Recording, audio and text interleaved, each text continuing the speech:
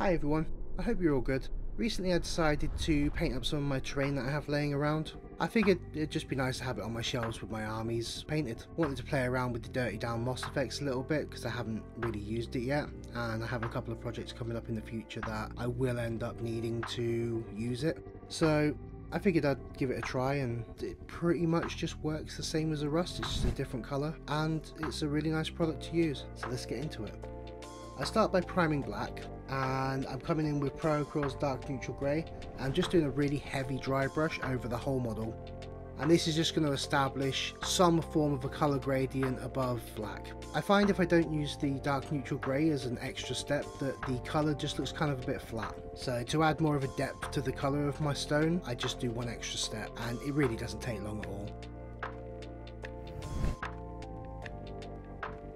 And the next step with Warm Grey by Acryl, we're going to do a lot of sponging and that's over the whole model, doing two or three layers. It's nice and easy, doesn't take too long to do, so it's quite an enjoyable process. And again, a moist sponge, not too wet, you just want it to be slightly damp when you pat it on the back of your glove or hand.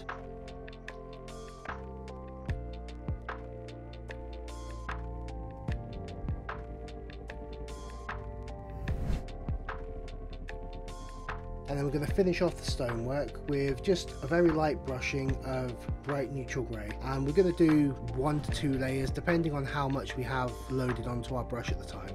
The main object of this dry brush over the stone is just to hit all of the highest edges and really make the stone pop.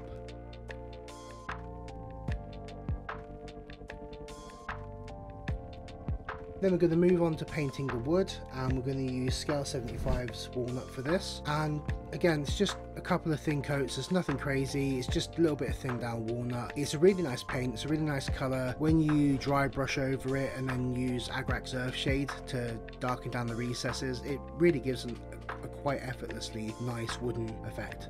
I've used darker browns in the past to do wood, but I find I just have to put a lot more effort into bringing up the highlights. So I now go for a kind of medium tone brown. I then do a dry brush of a light colour, then I darken it down with some form of a wash, whether it's a thin down paint or a shade. After painting the walnut, we're just going to come back in again with a little bit of bright neutral grey by Pro We're going to do a very, very light dry brush just over the wood. It doesn't matter if you catch the areas around it because it's the same colour we use to hit the highlights on the stone, so you'll be fine. And this is what we have so far. Nice and easy, not a lot of effort, not a lot of work really.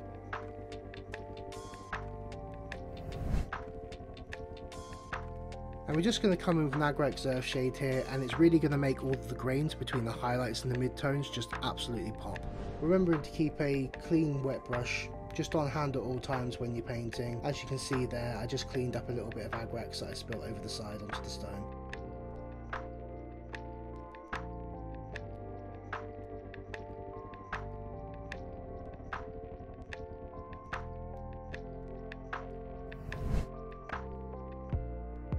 And for the tiny bit of metal that is on here, I'm just going to put a little bit of exhaust manifold from Vallejo Metal Colour. It's generally quite a nice paint, seems to cover pretty well. Just do one, sometimes two thin coats of it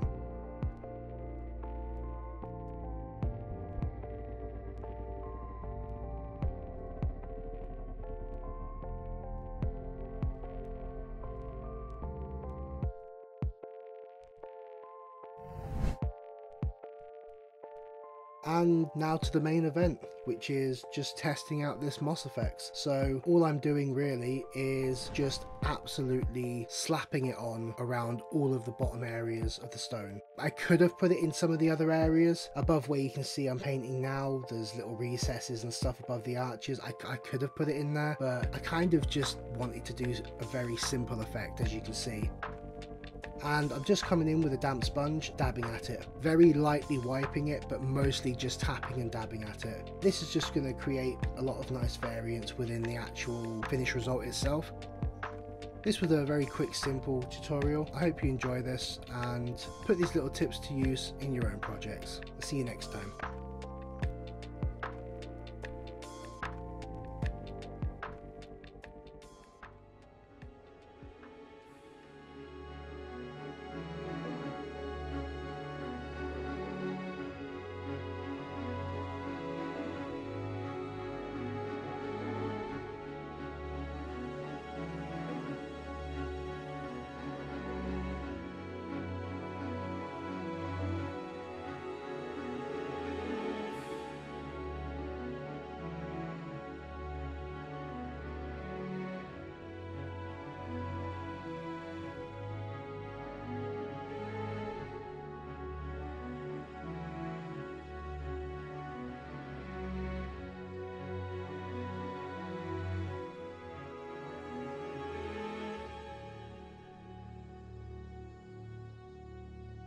Thank you for your support.